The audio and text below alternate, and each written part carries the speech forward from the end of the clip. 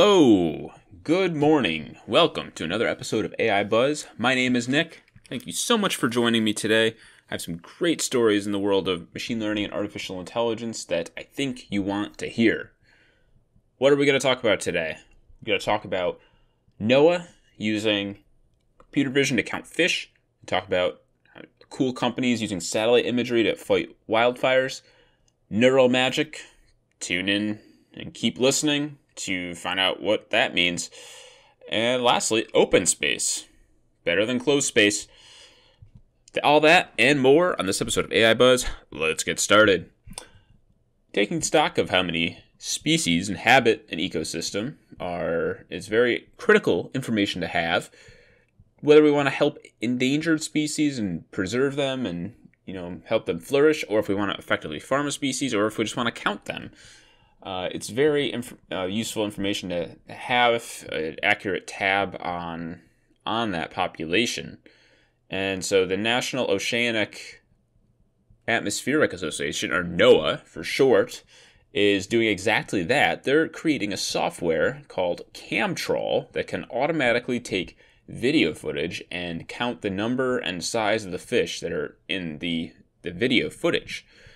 The need for this is clear because traditionally, how they count fish is dragging a net along the bottom of a uh, you know a bo- along the bottom of a body of water. And you know that's really not the best way to be doing it. Of course it's very inefficient. And there's actually a lot of environments where you can't do this. So um, you know if, if there's if there if it's very rocky or if, it, if the body of water is too deep this cannot be done so this new software called CamTrawl can actually do a pretty good job of it and here's some uh, from the news station KTUU uh, they interview uh, one of the scientists from NOAA, and it's in collaboration with University of Washington, showing it in action. So let's check that out. Of the fish. Yet one unavoidable question, just how much will automation take over the industry? We to eventually just take people completely out of this whole survey game? Are we going to just have a bunch of robots, you know, patrolling the waters up in Alaska? And um... yeah, really cool, really cool stuff. Um, so CamTrawl, the scientist states that it can reduce a full summer's worth of work into a day on, uh, you know, just a normal computer. So the intern can be doing something else besides counting fish for an entire summer. They hope to reach an accuracy of 80% eventually, and yeah, hope to see CamTrawl get used, and uh, these scientists can be putting putting their time and effort into some some of the other big problems that they're they're working on. Next up, Chooch. Fighting wildfires is really freaky.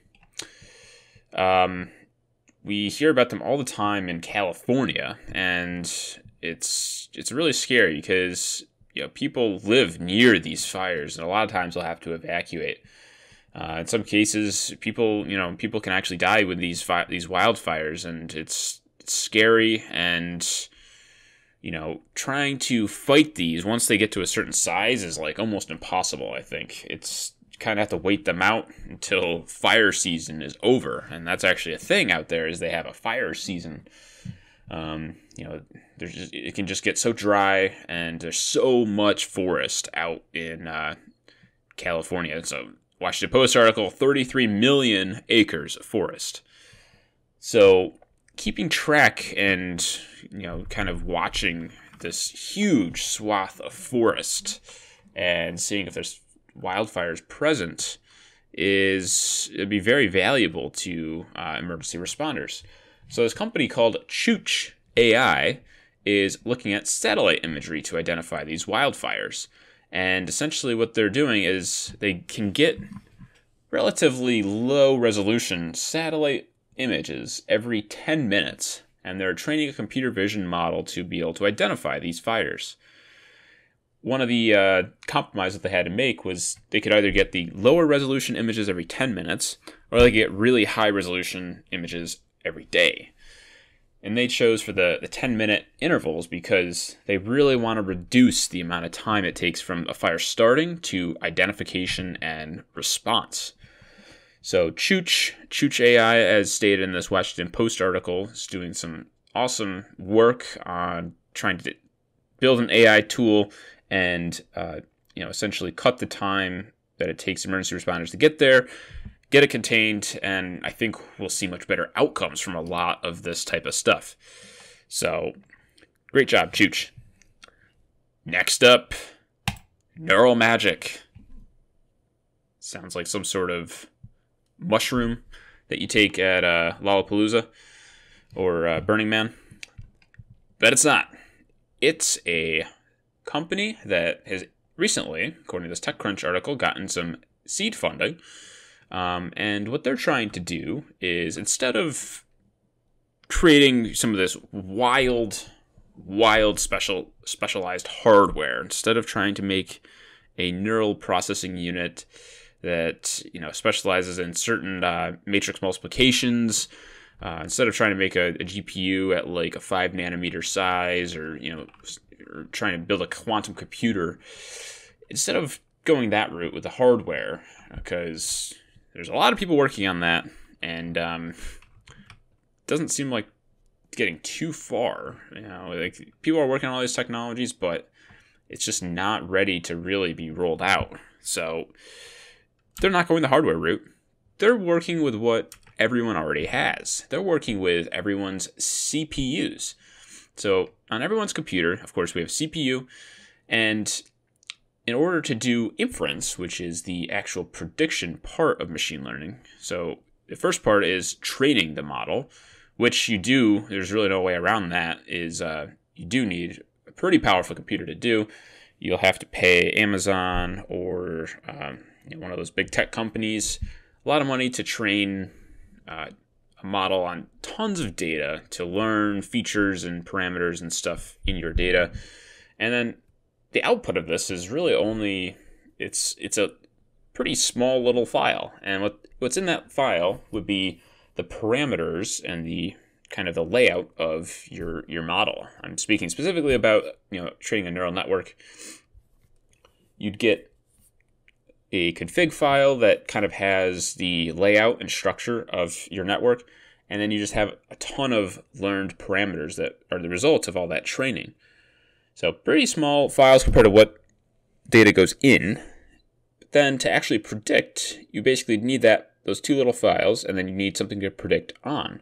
So in the case of cat versus dog, trying to tell them apart, uh, you you could train a model on millions of cat and dog photos using a supercomputer, and the output of that would be a relatively small file and that would contain probably millions of different weights of the different uh, nodes in your network.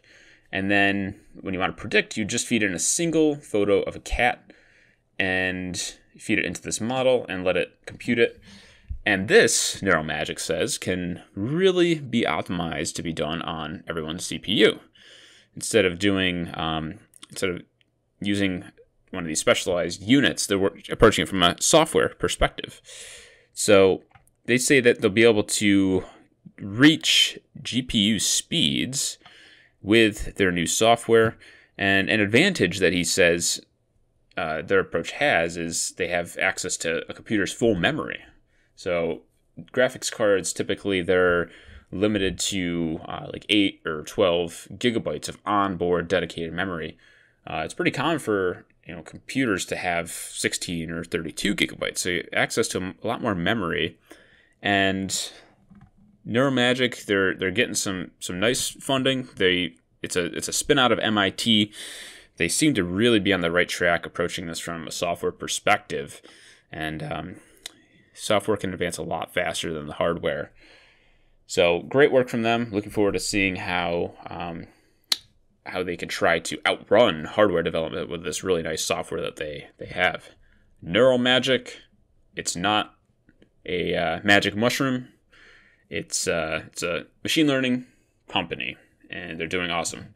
Next up, open space. So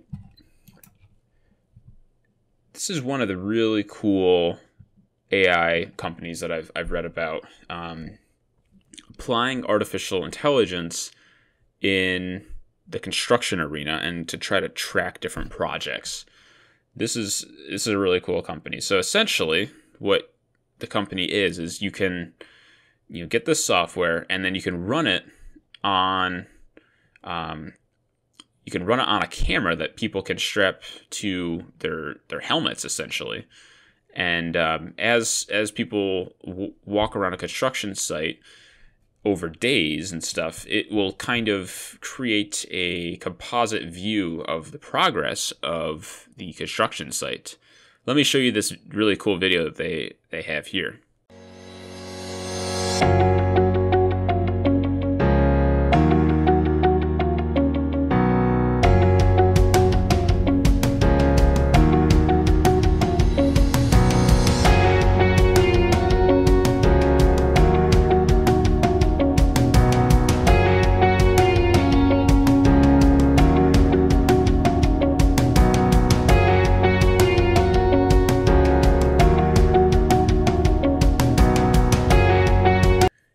So pretty cool stuff, right?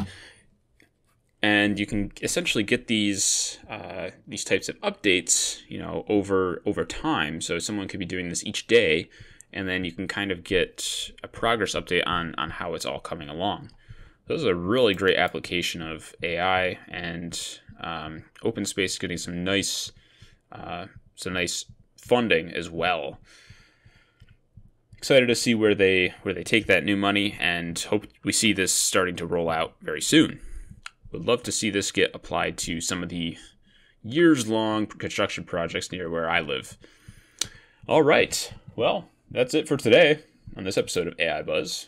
What I talked about today was NOAA using computer vision to count fish, Chooch fighting wildfires with satellite imagery. Nice work. And Neural Magic doing some cool things with software, trying to uh, work with what they have in terms of CPUs. OpenSpace, creating visualizations of construction sites, and pretty awesome stuff. You get to walk around with a cool camera on your head, and you get to generate maps. Sounds like a fun day to me. All right, thanks so much for tuning in this episode of AI Buzz. I'm your host, Nick. I'll be back very, very soon with more episodes and more stories in the world of machine learning and artificial intelligence. Thanks for tuning in. Mm, bye.